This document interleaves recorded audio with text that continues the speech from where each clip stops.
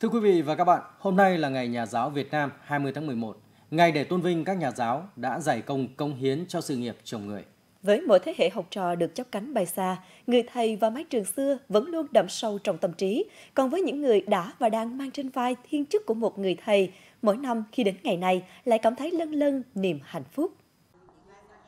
Đây là một buổi gặp mặt kỷ niệm Ngày Nhà giáo Việt Nam năm 2023 của câu lạc bộ Tâm Bình, Hội cựu giáo chức tỉnh Đắk Lắk.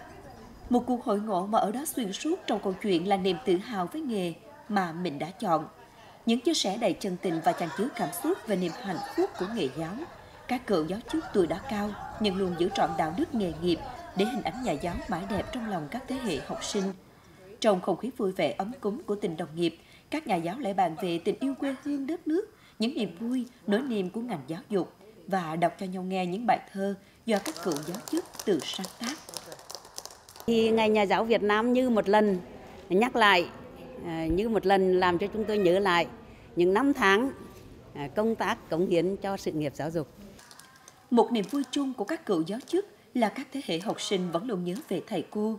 Dù ở xa, nhiều em còn mưu sinh vất vả, nhưng ngày 20 tháng 11 vẫn luôn gọi điện nhắn tin chúc mừng các thầy, các cô. Một số thầy cô giáo tuổi đã cao đọc tin nhắn của các em mà lòng cảm thấy lân lân như vừa mới ngày nào còn trên mục giảng. Tự hào vì các em nhớ đến mình, nhớ về đạo lý truyền thống mà mình truyền đạt.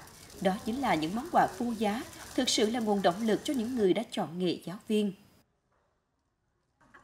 Từ xưa đến nay, giáo dục luôn lấy cốt cách làm trọng, tiên học lễ, hậu học văn. Với các thầy cô, sự đỗ đạt của học sinh là niềm vui của mình. Các cựu giáo chức hôm nay vẫn luôn động viên nhau trong cuộc sống và tiếp tục góp sức, trí tuệ cho quê hương, đất nước.